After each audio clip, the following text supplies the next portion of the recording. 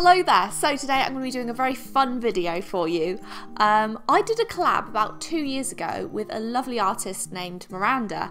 Um, I didn't even have a thousand subscribers at the time and she asked if I wanted to collab with her and it was thanks to her that I ended up hitting a thousand subscribers so I feel that I owe a lot to her and today me and Miranda are collabing again. We both sent each other packages full of art supplies. We settled on a price of about $25 and we exchanged art supplies. So today I'm going to be going through all of the stuff she sent me and see what kind of art that I can make from it. She's actually opening what I sent her in a video on her channel. Make sure you check it out in the description. She's amazing and lovely. So yeah, I don't know what to expect. I've not opened the box yet but I'm very excited to see what she sent. So this is the box that she sent me. It's very, very heavy. It's like she sent me a couple of bricks. Okay, so when I first open the package up, the first thing I'm seeing is a little mint coloured card. Now, mint and blue are my absolute favourite colours.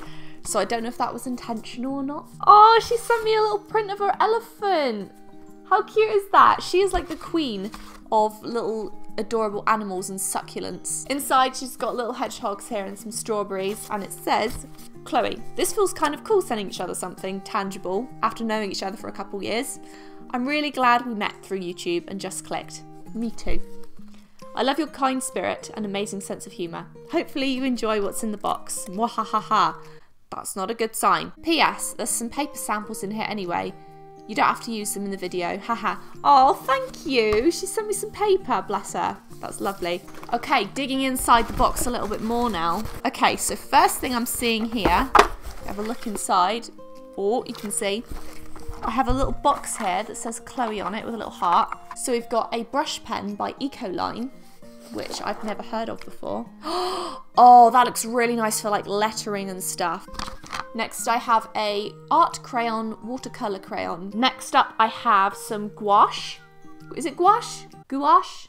Gouache? Gouache? Gouache? Gouache? Gouache? I've never used it and I'm very excited. It's, this is marigold yellow by Winsor & Newton, so that's very exciting. I now have a charcoal white General's pencil.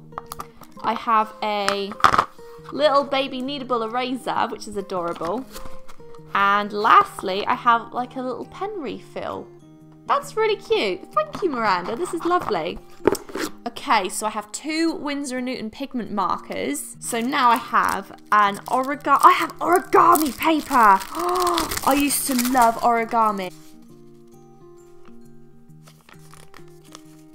Ta-da! A little cup made of paper. Completely useless, but it's a cup made of paper. Okay, next I have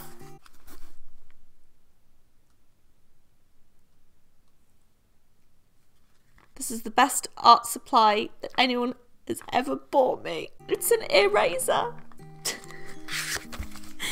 it's an eraser that looks like an ear and it's little and cute and awfully disturbing at the same time, but look at it! I have a mini paint set. It's like a little adorable little kitty kind of play set thing for paint. And I also have, this is like a makeup brush. Next up, I have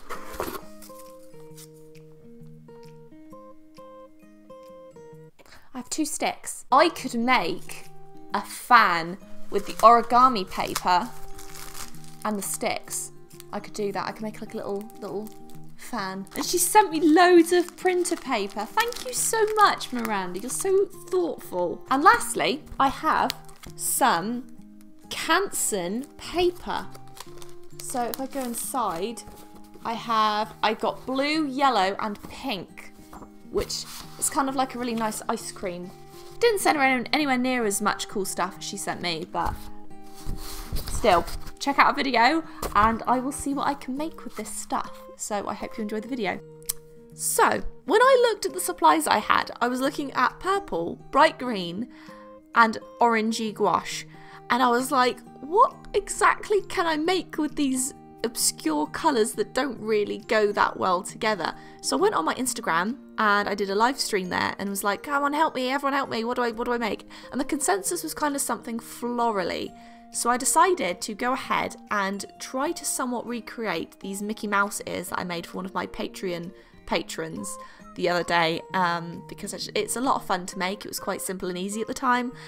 But I was stupidly forgetting that I just I do not use markers or gouache or pencils like white pencils. I, I've never actually properly used any of that. so I was like, uh, how am I supposed to make this any decent? Because I've never used it before. So it was a bit nerve wracking. I'm not gonna lie. It was it was nerve wracking to try and get anything decent, but I tried my best. Um, I initially sketched it all out, used the eraser, which was actually really very very good. So uh, if you're looking for a decent eraser, get one shaped like an ear because apparently they know what they're doing. Um, next, I kind of I was trying to add some flowers and then with the purple and then I was using the little white crayon thing which what is exactly what do you use that for? Because it was like so soft and weird and it was like I didn't really it was like a combination between like a soft crayon and like a pastel. It was really bizarre and I just don't really understand the purpose of them what they're good for so let me know what they are actually used for normally, because I have no idea. Uh, next up, I was like, this is not working. I can't just make all of these flowers purple. It's going to be terrible. So I took the little kids' little paint set thing and decided to give that a go. And actually, I was able to draw a rose or paint a rose with it, which was actually, to my surprise, quite pigmented. Um, it, it didn't turn out too bad. I thought, honestly, thought to be honest, the red was the only decent colour, but it, you know, it worked well enough for what I wanted, and it was close enough to watercolour. Still not quite, but it was there. Um, I also had the origami paper. I was like, how am I supposed to incorporate origami paper into this? So I ended up deciding to stick it in the mouse ears and really badly Mod Podge it onto this paper that definitely could not handle Mod Podge and origami put onto it. Um, and it had a lovely little grease stain all the way all the way around the edges. So I thought, okay, well that needs covering up because that looks terrible. So I took a gr the green marker and was like doing some like ivy leaf weird stringy things that just look terrible. Um, but yeah, overall, it, it's it's nowhere near my best work at all. But I did enjoy making this, to be perfectly honest, and just trying something a bit different. I think it's good to always try different supplies, especially if you're going through art block. I always say this if you're having trouble, try something new. Um, so, yeah, you know, I used the little refill pen as well, which was kind of blue and glittery, which was very nice. The colours do not work harmoniously whatsoever in this piece, but that's fine. That's totally fine. Um, so, yeah, that's about it. I stupidly forgot to use my makeup brush for any of the, the painting part, and I didn't use the sticks either. So I don't, that was a bit, yeah, I should have used sticks. I didn't realise until I'd finished this that I hadn't used them. oh well, maybe next time. Um, so yes, please do make sure that you check out Miranda's video. She's done a beautiful job with the supplies I sent her. She's honestly such a talented artist and she's so sweet. So please make sure that you go and check her out. Um, and subscribe to her and tell her that I sent you. So yes, thank you so much for watching. I hope you enjoyed this piece. It's it's there. Yeah, okay. Thank you for watching. Thank you so much for watching. I hope you enjoyed the video. I really enjoyed this. It was a lot of fun. Uh, let me know if you would do something like this with your art friends because it's a lot of fun to be given things that you wouldn't normally buy for yourself and then try and push your boundaries a little bit. Make sure you check out Miranda, by the way, because she's so lovely and just she's unbelievably sweet. So yes, thank you so much for watching. I hope you enjoyed the video. Take care of yourselves and I will see you in the next video.